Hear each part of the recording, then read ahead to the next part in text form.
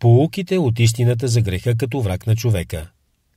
Рал Венинг За начало е важно да се отбележи, че се заблуждаваме дълбоко, ако мислим, че грехът е път към щастието.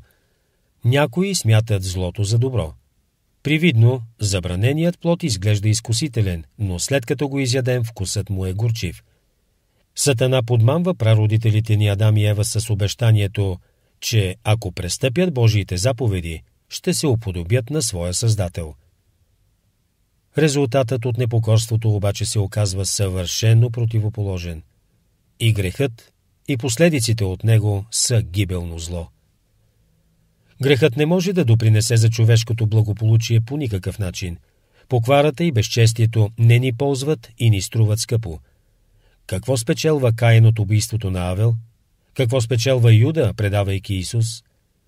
Мислите, че това са тежки грехове, но какво да кажем и за по-дребни прегрешения, алчност или сластолюбие? Хората обикновено искат повече и повече, те са ненаситни. И не е ли суетно и напълно безполезно, даже вредно това? Размислете върху следното. Един мъдрец е казал Има тежко зло, което видях под слънцето, а именно богатство, пазено от притежателя му за собствената му вреда – и онова богатство се изгубва чрез злополучен случай и не остава нищо в ръката на сина, когато е родил. Еклесиаст, глава 5, стихове 13 и 14. Без значение колко притежаваме и колко можем да се възползваме от нашето имущество, човекът никога не се задоволява. Сребролюбието расте по-бързо от богатството ни, и щом материалните блага не могат да задоволят плътта ни, как могат да задоволят душата – Усилията да ги придобием, грижите да ги опазим и страхът от загубата им ограбват спокойствието и отехата, които би трябвало да ни дадат. След смъртта не можем да отнесем нищо от този свят със себе си. Каква е ползата от земните блага тогава? Дори ако предишните аргументи не се отнасят за вас, без съмнение този е всеобща, неизбежна истина за всеки човек. Ако през целия си живот си събирал богатства, задоволявайки своята алчност – покварата на сърцето няма да те ползва в смъртния ти час. Очевидно е, че няма полза от греха, дори от сребролюбието, което се смята за най-доходният грях.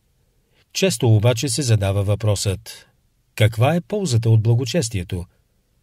Отговорът ми е следният. Благочестието е полезно винаги, и тук, на този свят, и в отвъдното, и в земното ни битие, и в вечния живот. Греховното поведение никога не може да е почтено. Нещо, което умърсява душата, не може да е чест за тялото. Това, което е мерзост за Бога, не може да бъде достойно за човека. Дори светът да се възхищава от някакво неправедно дело, за Бога то е низост и позор. А Създателят на всичко е най-добрият съдия за морално или неморално поведение. Грехът ни дава само мимолетно удоволствие, а не трайно чувство на удовлетвореност – дори хората, които дълго са се наслаждавали на разгулния живот, на стари години са постигнати от немощ. Насладата е удовлетворение на ума и душата от това, което човекът притежава. Но нечестивите не могат да изпитат истинска радост и доволство от своята неправда. Размишлявайте последното. Няма мир за нечестивите. Хората, които живеят в грях, могат да се смеят, да изглеждат щастливи, но Бог знае, че в сърцата им няма мир. Покварата и грехът не са естественото състояние на човека, защото човечеството е създадено съвършено, по Божият образ. Благочестието е определената норма за поведение. Затова писанието описва нечестивите като живи мъртъвци. Безчестието никога не може да задоволи напълно човешките страсти – да търсим удовлетворение в неблагочестивия живот и поведение е все едно да се опитваме да оталожим жаждата си с солена вода, която всъщност я засилва още повече. Само чистата вода я отолява.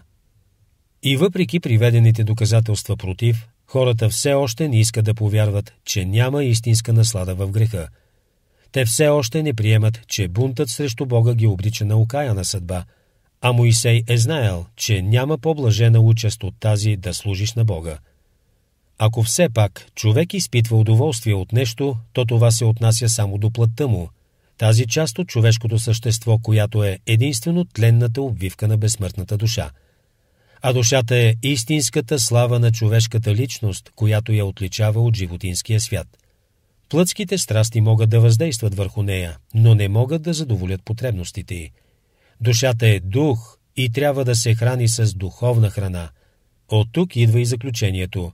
Няма истинска полза, чест или удовлетворение в живота на поквара и порок. Неправедното поведение и грехът могат да ни донесат само разочарование и скръп. Да отделяш време за греха е по-лошо от изгубеното време. Всеки ще отговаря за времето прекарано в грях, а няма оправдание за злодеянията. В вечността ще жънем плодовете от посятото в земния живот. Времето, което не е посветено на Бога, е просто изгубено, то е зле прекарано време. И така, внимавайте добре как постъпвате, не като глупави, а като мъдри, като изкупувате благовремието, защото дните са лоши. Затова не бъдете неразумни, но проумявайте каква е Господната воля. Да се забавлявате с греха е безразсъдно. Твърде много хора съжаляват горчиво, когато ги сполети беда и все пак се развличат с безчестията си.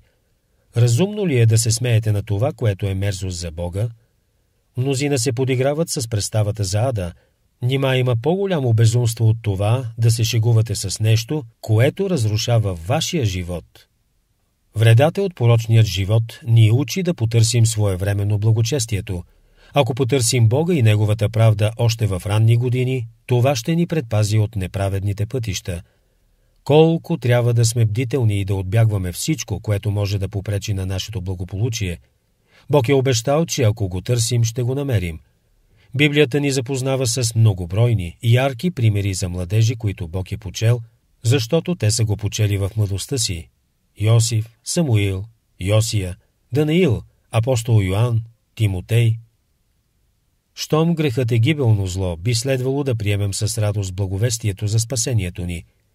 Когато сме болни, лечителят и неговите царове са облегчение за нас. Посрещаме с радост дори хирурга, който ни причинява болка. Толкова е важно за здравето ни, че не само приемаме с желание лечението им, но щедро ги възнаграждаваме за това. И не следва ли тогава да приветстваме ликувайки благата вест на Исус Христос, който е дошъл не само за земните ни тленни тела, но и за спасението на вечните ни души? Да придобием това спасение, за което Христос е платил толкова висока цена, но дарява щедро, безвъзмезно на всеки, който му се довери и го последва.